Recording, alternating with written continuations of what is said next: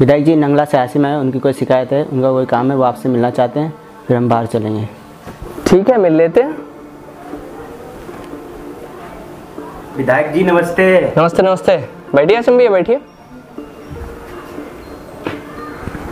कैसे आना हुआ आशिम भैया? क्या समस्या है बताइए। विधायक जी हमारी एक समस्या है कि हमें आवास नहीं मिलो और हमारो मकानों कच्चो है। जिनके पक्के मकान बने हैं, उन्हें आवास मिली, गो। और हमें आपात्र कर दो, गो। विधायक जी, प्रधान हुए हमसे खिलाफ। आप हमारी इतनी मदद कर दो, जो हमें आवास मिल जाए। हमें तो परेशान हैं कि जेती बारिश, बहिरार होती होती, हमारे घर होती कि छप्पर है, वो सब चुई जात। बहुत परेशान हैं। विधायक जी, आप हमारी मदद कर दो। हाशिम भैया, मदद तो आपकी पूरी होगी। आपने इतना सोचा भी नहीं होगा हम आपकी इतनी मदद करेंगे। अरे उस्मान तुम ऐसा करो वीडियो और सेक्रेटरी को फ़ोन करो और कहना दो घंटे में नगला पहुँचे। ठीक है विधायक जी। और हाँ हाशिम भैया आप चलिए मैं आ रहा हूँ ठीक है? और दो घंटे में सेक्रेटरी और वीडियो भी वहाँ पहुँच रहा है। आप गाँव चलिए मैं अभी आ रहा हूँ। विधायक जी नमस्ते। नमस्ते।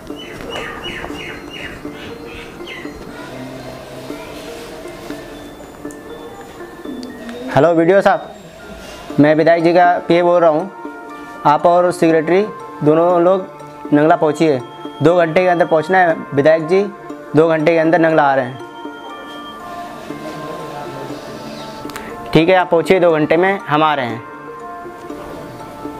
विधायक जी, मैंने बोल दिया, हम चलते हैं।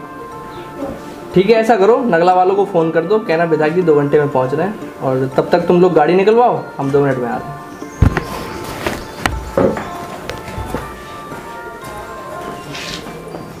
अरे वीडियो साहब बहुत देर हो गई। अभी तक विधायक जी आए नहीं। हाँ हो तो देर गई है। हासिम भैया विधायक जी आ गए हैं। अच्छा विधायक जी आ गए हैं? ठीक है।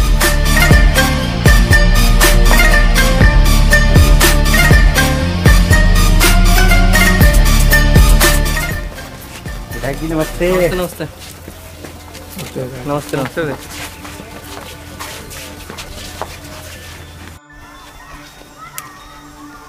अरे अजय इधर आना। जी सर। ये बताओ ये वाला मकान किसका है? ये राहुल भाई। राहुल भाई का। अरे अजब ये बताओ ये बगल वाला मकान किसका है? ये ब्रजेश भाई का है। ब्रजेश भाई का। अच्छा ये बताओ आप इनको जानते हैं? जी। इनका इस घर के अलावा कहीं और भी मकान है कोई नहीं पक्का? दूसरा नहीं यही है बस। यही मकान है? जी। सेक्रेटरी का है? अरे सेक्रेटरी जी साहब। जी। अच्छा ये बताओ जब इनका ये कच्चा मकान है तो आपने किस आधार पर ये रिपोर्ट लगाई है कि ये मकान पक्का है? जब ये साफ़ साफ़ दिख रहा है ये कच्चा मकान है तो आपने इसमें ये रिपोर्ट क्यों लगाई है कि आप पात्र हैं? इसका जवाब दीजिए कि आपको दिखाई नहीं देता ये कच्चा मकान है? साहब अभी ये कुछ दिन से रहने लगे यहाँ। चलो ये भी देख लेते हैं। अगर जल्दी रहे होंगे तो ना तो गृहस्थी होगी ना कुछ। चलो पता लगाते हैं। क्या है? आइए।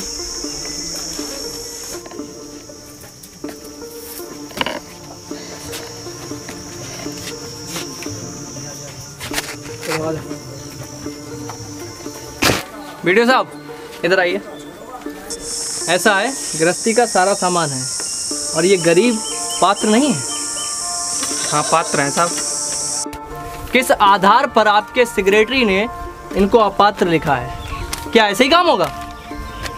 जब ये साफ़ साफ़ दिख रहा है ये कच्चा मकान है तो इसमें किस आधार पर इसे अपात्र कर दिया गया है? अगर ये भी पात्र नहीं है तो पात्र है कौन? इसका जवाब दीजिए आप। साहब इनके पिताजी का मकान पक्का है।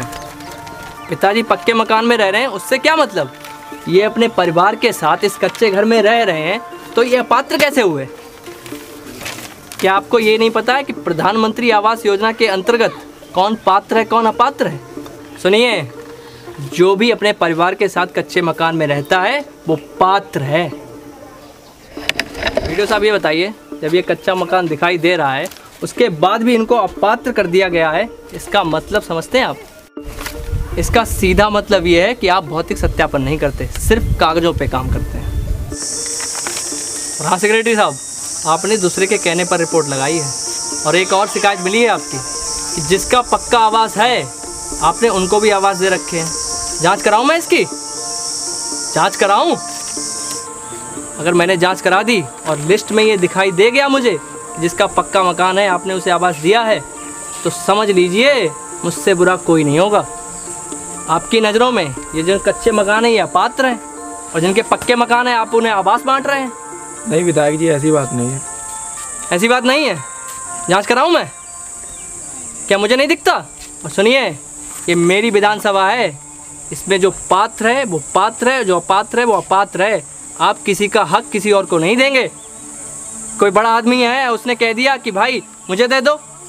ये मेरा आवाज़ दे दो, ये मेरा आवाज़ कर दो, या इनका आवाज़ कर दो। क्या आपकी कोई ज़िम्मेदारी नहीं बनती? आपको नहीं दिखता ये गरीब है? अगर आइंदा से ये गलती हुई तो पूरे ब्लॉक को मैं बाहर खड़ा करके सबक सिखा दूँगा। ध्यान रखिएगा आप। सुनिए वीडियो साहब, पूरे गाँव की जाँच कराइए, ठीक है? जो पात्र है, जो गरीब है, उसे आवाज़ दिलवाइए।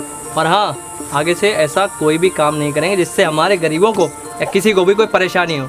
और ये इसी गाँव में नहीं मुझे किसी भी गाँव से कोई शिकायत नहीं चाहिए। ये ध्यान रखिएगा आप। ठीक है विधायक जी आप निश्चिंत होकर जाइए।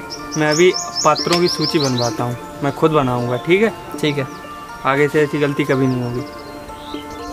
अब आप निश्चिंत रहिए। अब आपको अपना आवास मिल जाएगा ठीक है? बिल्कुल परेशान होने की ज़रूरत नहीं है। जब तक मैं हूँ आप लोगों को कोई तकलीफ़ नहीं होगी ठीक है? जी। चलिए विधायक जी धन्यवाद। चलो सर। दोस्तों कैसी लगी वीडियो कमेंट करके ज़रूर बताएँ। और हाँ दोस्तों चैनल को सब्सक्राइब ज़रूर करें। वीडियो को लाइक करें। वीडियो को शेयर करना बिल्कुल ना भूलें।